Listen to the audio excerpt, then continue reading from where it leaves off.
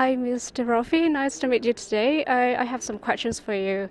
Um, so the first question is, um, do you think that Swinburne Business Program will be highly applicable in practice? Oh, the Swinburne Business Programme is highly applicable in practice. Um, our students get to learn a whole number of uh, really excellent skills. They are building on their own personal skills with industry-based skills, giving them a really great uh, starting place for their entry into work. Thank you. Thank you.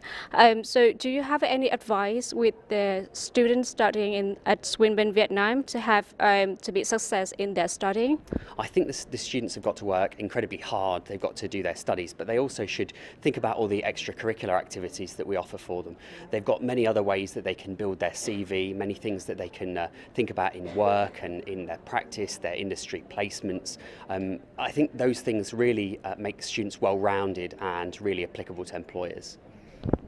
That's good. So, uh, do you have any estimation about the potential if students uh, studying um, studying at Swinburne Vietnam?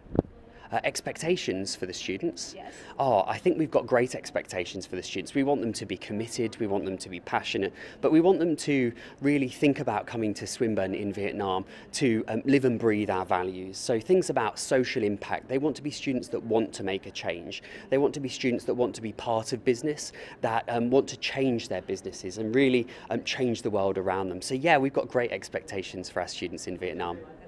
Thank you. Thank you for your participation. Thanks.